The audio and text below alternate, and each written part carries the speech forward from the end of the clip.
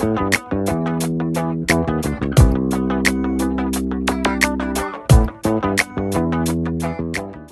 start with a simple C major scale.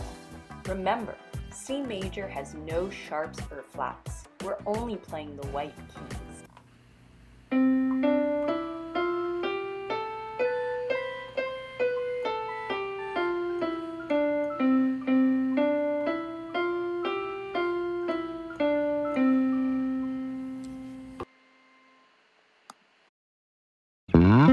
Try a G major scale. Remember, there's an F sharp in G major. Let's give it a go.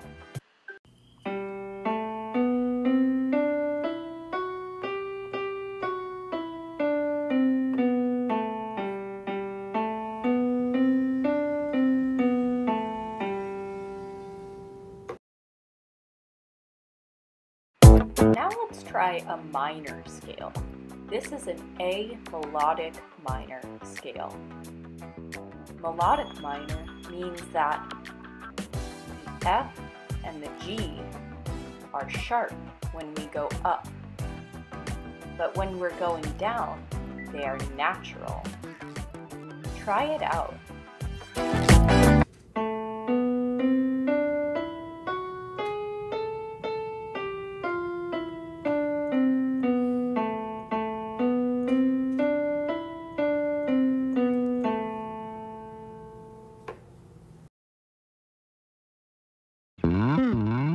Job, everyone! Remember, practicing techniques will make you a better player, so keep up the hard work.